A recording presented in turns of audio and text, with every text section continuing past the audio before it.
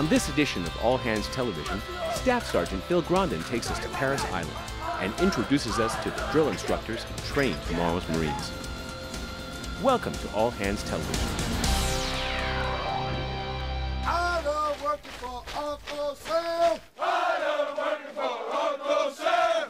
Lets me know just who I am. Lets me know just who I am. Go right now. Gonna set him real quick, do you understand? Yes, sir. As soon as you get on that plane and you're on your way to Afghanistan, you understand? Yes, sir. Let's do it. Dirty weapon!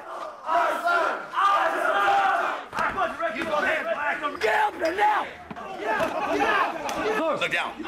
That's rust. Automatic weapons failure. Get to the riot, Russ. Get to the rush. And rush. I guess you talking port arms too. Get on your face. It's all oriented towards we we, we orient it towards combat. You know, because hey, if you're told to do something, you told to move or do something, and you don't do it, people can lose lives.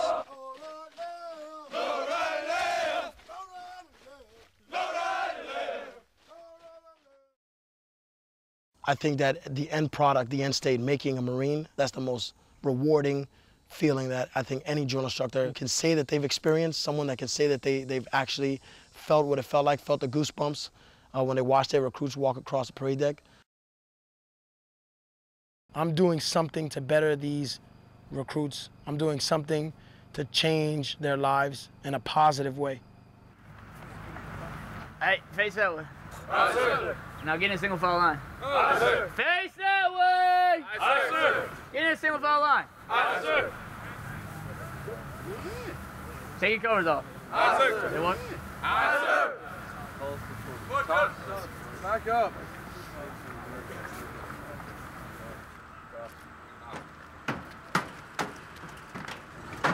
Right over just a little bit. Dixon, get in front of them. Like, in, oh, stop, stop, stop. Like halfway in front of them. Make sure everybody has their portholes off, please. All right, I'm gonna, I'm gonna take three pictures. One, two, three. All right, full take off. Get on the wall. Now you're on budget control. One, two, three. Sounds away! One,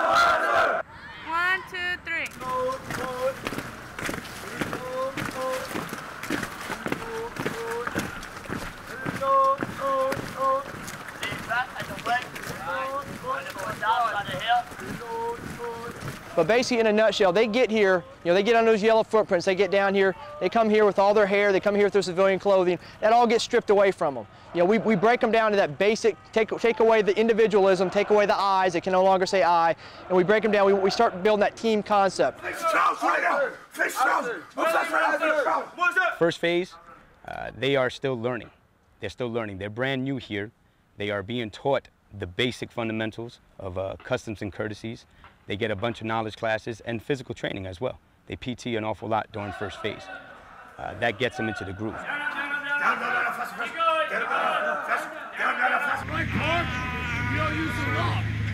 Get over the park. Get over the park. Ah! Running place. All the way down. Your arms at the line, up just like that. I, I have, uh, I think it's three or four that are still 17 years old. You know, they had to get their waiver to come in and whatnot, and they're and they're young, and you can tell they're young. The younger, the younger kids that typically come here during their summer after they graduate high school, they're they're uh, they're more willing to uh, to do the things that we tell them. They just whine about it a lot more. They cry about it a lot more. They complain a lot more, and they expect sympathy, because I guess that's what they're used to as as they grow up. The uh, the older crowds, the ones that come during the winter and in the fall, they they typically don't have those problems. They just don't want to deal with a lot of the nonsense in their mind. It's a lot of nonsense. I'm a grown man. I have my own kids. I got my own family. You can't talk to me like that. You can't make me do that. Get up! Get up! Get up! Blast the bus! Blast the bus! Get up! Get up! I know you're not gonna be on your day on knee. Blast the bus! all, all across the board, uh, they come down here. They're, they're going to get the discipline. Whether they're old or young, out of high school, or 35 years old, they're going to get the discipline. Up, yes, down. Up, yes, down. Up, yes. All back, sir. Straight. All back, sir. Straight. I know a fair say joint on my head. I. Oh, you want straight. I say. Straight. I say. Down. Look for the glow strip right now. Azor. Faster. Azor. Faster. Scream. Azor. Scream. Azor. Scream. Azor. Find the glow. Good, get on right now. Get on. Get on. Just do the scream. Azor. Get open your damn mouth. Azor. At, at that first training day, they had no idea what to do, what was expected of them. Doing everything has an order to it. It's not just like okay, get dressed. No, you you- from the from day one, you need to tell them like no joke how to get dressed because they'll take their, their time and you know we don't always have time to, to mosey around and Step on rack. I know it's step on rack. Pay attention. Get on the bottom rack. Pull it over there and get it right. Well, smooth this stuff out before you get it on. Just throw it on there. All right. But they wanted to be here. They were hungry. They, they wanted that knowledge. They wanted to experience boot camp. A couple days later, an awful lot of them are down in the they're down in the dumps, for lack of a better terms. They're uh, they don't want to be here. They don't understand what's going on. The uh, the adjustment has not set in. Fix it right now. Fix it right now. Fix it right now. Come back in there, turn back on the joint. Azor! Do a step! Azor! Azor! Get out of my way. Azor! I'm supposed to get out of the way for you, right? Azor! Open your damn mouth! Azor! You know we got to be moving all the time. You know trying to you know get them ready for hey if we tell you to do something, we need to do it now. And it, it's it's all oriented towards we we, we orient it towards combat. You know, because hey, if you're told to do something, you told to move or do something, and you don't do it, people can lose lives. So we, we try to relate as much as we can to that, and it's and we and we orient it and explain it to them, and they and they start to understand. Okay, hey, when you tell me to do this, it's for a reason. It's you know instant will and obedience. So everything we do as it has a purpose. One, four, three. Two.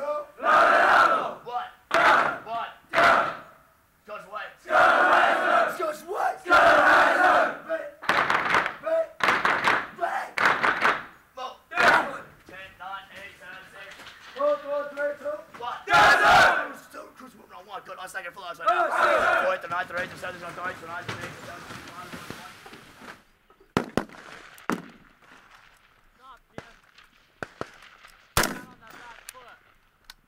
the ninth. Going into second phase, we start uh, orienting the training into rifle marksmanship with a, a week worth of classes during the grass week and a, uh, a week worth of the actual firing.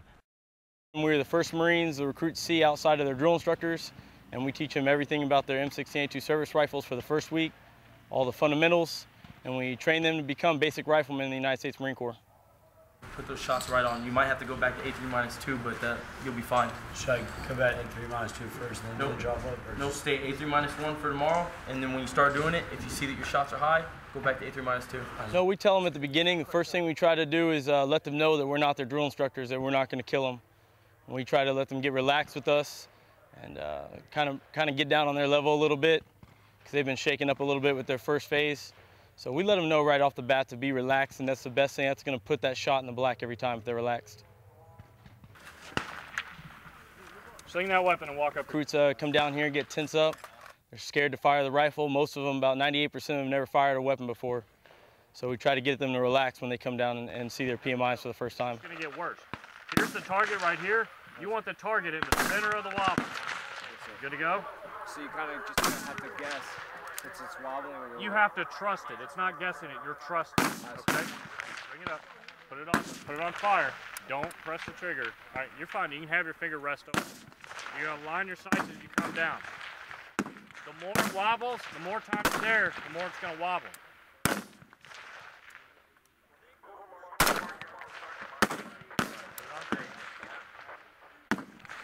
Put it on safe. All right, sit down. So during second phase, they actually uh, they're they're they're doing in their minds more marine type things. It's not the knowledge, it's not the drilling. Wow, we're actually down here pulling triggers, seeing rounds go down range, and you know it's becoming more of a reality to, to them what they're doing and why they're here.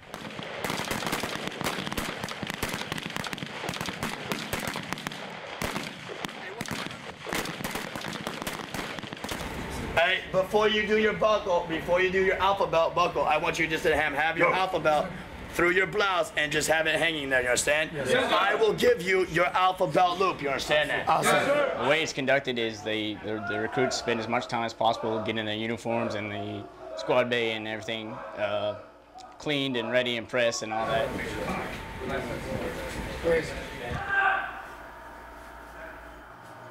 On game days, all the drill instructors, the third hats, whatever, get together. They go around there with what's called the detail inspectors, they go through and they do all the they find nitpicking questions and whatnot. Virginia, sir. Yes, sir. Yes, sir. Virginia, sir. Yes, Open contract, sir. Yes, sir. What's the rifle serial number?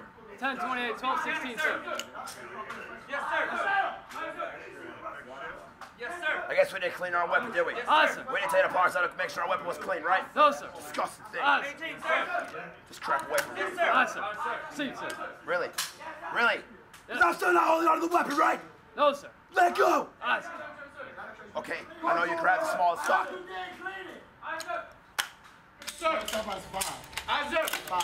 Five, sir. Five. Aye, sir. Weapon serial number. Sir, this group's weapon serial number 1027. That was uh, interesting interpretation of inspection orders. Because they're nervous, they you know they get excited. They they forget movements that they know very well. They get so you put somebody in front of them that they don't know, and they they basically they have a brain dump and they forget uh, all they've been learning for the past you know, almost 60 days.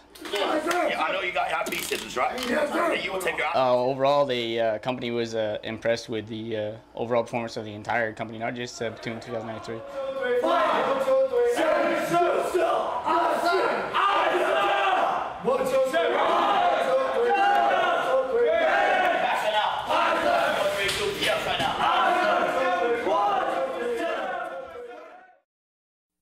When you want Navy information, you want it now. And there's only one place that puts all the pieces together Navy.mil.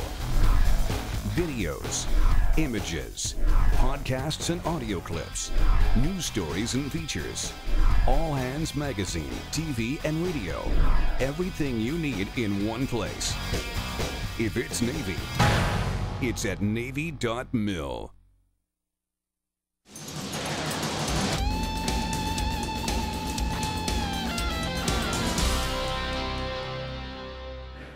Hey, guy.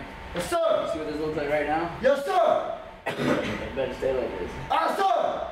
Till one day on, you give it back to me on train day seven. Aye, sir. You get that? Yes, sir. Give me the stick. Aye, sir. Now the real training begins. Uh, Sunday 8 going into training day 48, they actually did become third phase, so they actually uh, they get a red rag now, a red guide on, and that signifies, tells everybody on the base that they are third phase because it's red. So the guide now carries around a red flag. So you see that transition from first and second where he's still really that civilian. Third phase, I mean, he's, he's always getting to that mentoring phase where, yeah, it's starting to come out. You're starting to see that Marine, you know, that Marine starting to come out of him. This week, basically, in a nutshell, is the uh, recruits' first indoctrination into uh, any kind of field environment, sleeping out in the field, eating MREs on a regular basis, and just not having those comforts that a squad bay or uh, back home provide. When uh, when we when we, when we start off, friggin' um, the heavies will be up here, spread out throughout the course. Okay, whoever's gonna take the wall, whoever's gonna be like beyond the coverts, spread out be out throughout the course. We'll friggin' once the heavies friggin' once the kids get past here, we'll get up and we'll move down there to where the friggin' they rush again, past the second half of the course. Just weapons. You and I had the weapons slung while you go through the your Kevlar and your face better be inside the daggone dirt as you friggin' low crawl. Do you understand? I Let me let me catch one of you lifting up your friggin' head. We're gonna have friggin' problems. You understand? I Now open your mouth. I know. The uh, objective of uh, basic warrior training is to evaluate each recruit successfully in uh, the basic understandings of the fundamentals of uh, maneuver under fire, combat formations, hand and arm signals, um, day movement, the, the day movement course, and uh, the night movement course. Uh, the day movement course is an obstacle, it's an exercise that we use to help recruits understand what it might be like in a combat situation. Uh, there's a lot of different obstacles going on, not just physically, but mentally as well. Faster, crawl faster. Faster. Faster. Faster, PB. Uh, the training is really is, is very realistic. I know today we're fighting an urban war, uh, so it's not so much that we're in the tree line and we're on the ground as we were in, in, in Vietnam. But uh, the training is still realistic because the, the environment will still be the same. The fog of war, that, uh, that cloud, that dust, the smoke, the debris of the battlefield, all that is realistic. All that is happening right now in Afghanistan and in Iraq. A it's combat mindset. Drag him off the court. Grab him by the ear, bitch. You just died. You're dead. You just got shot. You're done. No, get down. Get down. Now drag him off the course. Drag him. Your buddy just got shot in combat. Now get him off the freaking way. Uh, the training is very strenuous. Uh, it's, it's, it's physically strenuous. It's uh, mentally uh, strenuous and uh, emotionally too. Get to the left. Throw, get to the left. With all the the haze that the drill instructors try to create and make it as realistic as possible, uh, by us putting a lot of stress on the recruits, I think for them it's it's exhausting. He's bleeding. Take him to the toilet. Get. Get him out of the kill zone. Drag. Get him out. Drag him out. Get him out. Get him out of the Get him out. Scream. Scream. Scream. He's scream. You got your feet blown off. Scream. You got your legs blown off. Scream. Scream. The drill instructors create an environment for them to feel a, a, a sense of urgency, to feel pressure, to feel stressed. And I think that's what makes the training even that much better.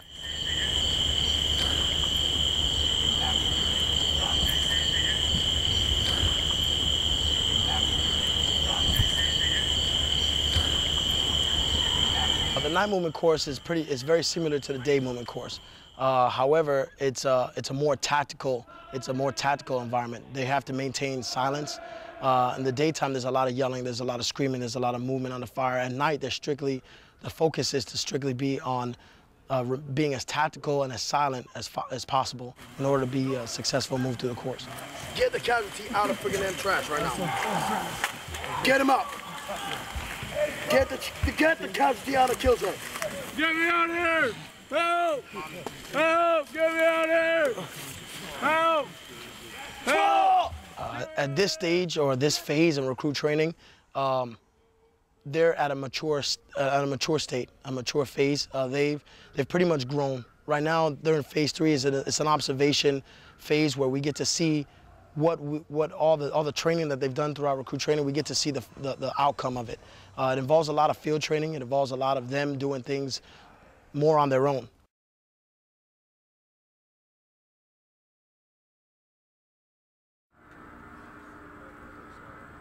My impression of them is that they- they've definitely come a long way. Uh, they are a younger group. They're a little bit more immature than the groups that we get in the winter. But I mean, that will come a time. You can tell the difference between when they got here and now, and, and how they respond and how they act and whatnot. They have a you know a better understanding of how the Marine Corps works now. as drill instructors, we've seen them grow. We've seen them work well together. They're starting to work in fire teams. They work. They know, understand what a fire team is. They understand that they need to know the recruit to the left and the right of them, as Marines do to the left and the right.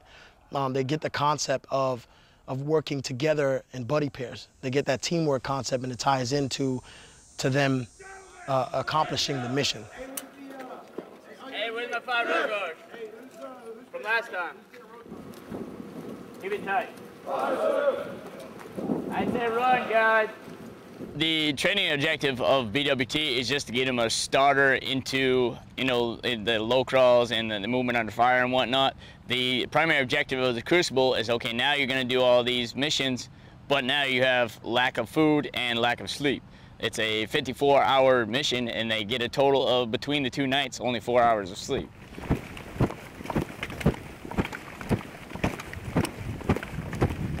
Chow is on you. Do we understand that? Yes, sir. Chow, water, everything is on you. Do we understand that? Get out.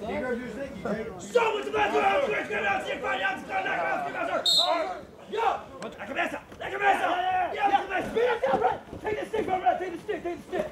Him down, beat him down. Yeah! Yeah! Yeah! Yeah!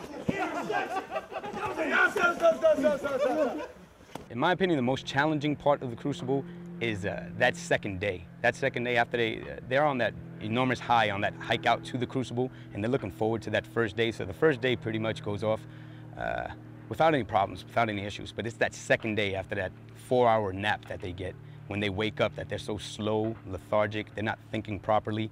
They uh, they may not get the counts down the right way or have a great plan in place. What's your plan? Plan put it to throw the rope over with the barrel tied on. Say. Get it. There you go. There you go. Watch your feet, watch your feet. Now you just have to figure out how we're gonna get Rodriguez. There you go. Yes, yes. All right, don't let go. Don't let go. Don't let go. Don't let go. Yeah. Short time. Short time. Time, The time, barrel's- time. Time's up. Time's up. Hurry up. So how they do? A lot of ideas. A lot of good ideas. It was a little bit too late though, as far as the time's concerned. So, but they, they had the gist of it towards the end. They know exactly they know exactly how to get it through. Get your weapons. Most challenging part of the crucible would be the movement to contact and the ammo resupply points. You got to work together. You have a fire team that you have to get to the end, and then you also have, you know, you're doing the low crawl and then the ammo resupply and whatnot.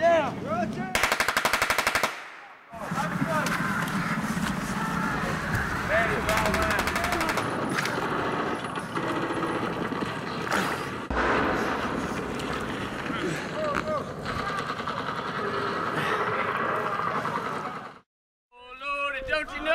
Oh, Lordy, don't you know? Oh, Lordy, don't you know? Oh, Lordy, don't you know? I used to eat at Mickey D's. I used to eat at Mickey D's. But now I'm eating MREs. Now I'm eating MREs. One of the most challenging parts of the Crucible is definitely the uh, the hike back for the recruits. The, uh, these recruits, uh, depending on what groups they are put into, um, certain days are, are, a little bit a little bit more rigorous than others. Um, depending on what they do on the first day or the second day, uh, either way it goes, on that last day that they leave there, they went through everything. They ran the gauntlet as far as physically, mentally, everything is going to be there. They have they've been pushed to their limits, and now they're going to put all their gear on. You know they have to hike back that the uh, the distance back to uh, to the Iwo Jima monument. Through my mind, I, uh, during the during the Eagle Globe and Anchor ceremony, I feel a, a sense of pride, of a very strong sense of pride that I am I am handing possibly the next Commandant of the Marine Corps, the possibly the next Sergeant Major of the Marine Corps, their Eagle Globe and Anchor, that I'm going to be forever ingrained in someone's in someone's history, in someone's mind, that I've given myself 100% at all times, and I've made a Marine.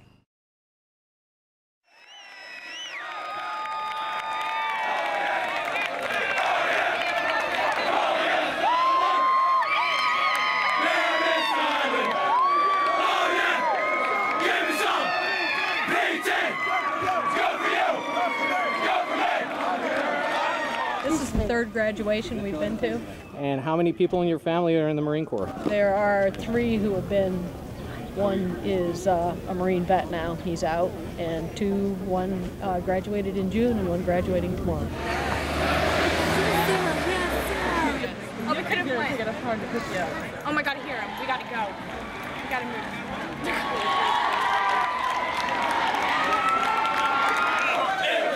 Sound off! Sound off! In the middle! In the middle! Sound off! Sound off!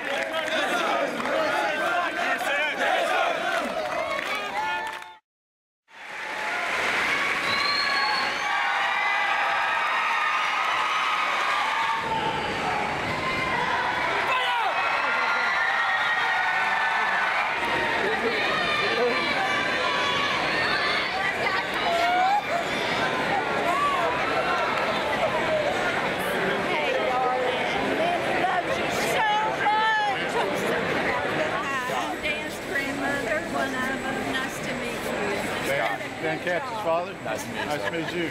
You've done a great Best memories, honestly, is uh, family day and graduation day, honestly, because you get, you know, the families that come up, they see their son or, or, or daughter for the, for the 4th Battalion, they come up, they see him. A lot of the males, I've, I have males that weren't fat when they got here, but still lost 20, 25 pounds. They're, they're cut, they're, they're, you know, more physique in the, the way they act and whatnot. You'll get the parents, they, they kind of, not in a bad way, but they're like, what'd you do to my son? You know, and then they come up and thank you. That's that's the biggest impact. When you get the families, you know, thank you for what you've done. That's that's the biggest impact that I remember here.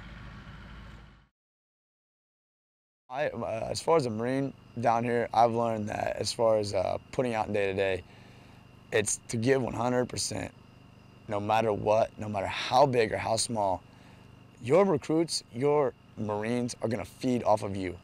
If you come out and you give 110% and you you don't accept anything else and you show them that attention to detail, that you're gonna strive to do the best, to make things better than, than, than what they were before, to make a difference, that's the biggest thing that I've noticed.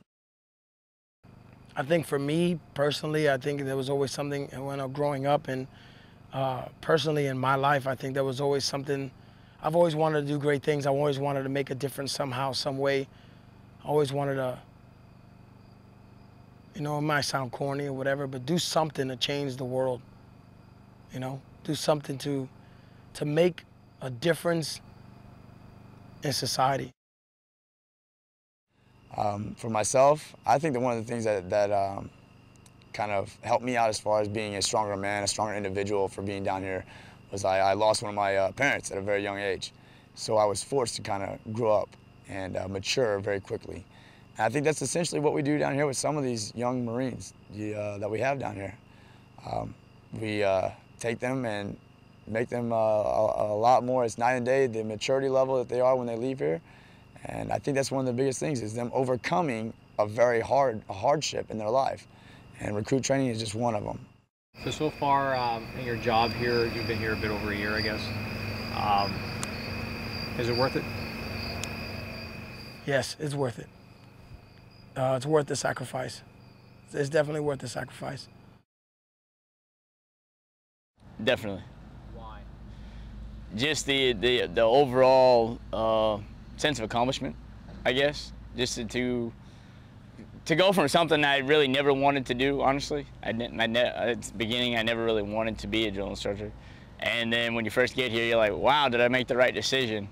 To you know, becoming the senior drill instructor and seeing, you know, the overall product from the beginning, not just having to worry about okay, his fingers aren't curled and you know he's not uh, responding the right way. I mean, I still still worry about it, but not to the extent that my you know my heavy and my, my third hat worry about it, and just seeing overall how just kind of watching, supervising, seeing how they are in the beginning and how the end, how they transition, and how we we really make Marines.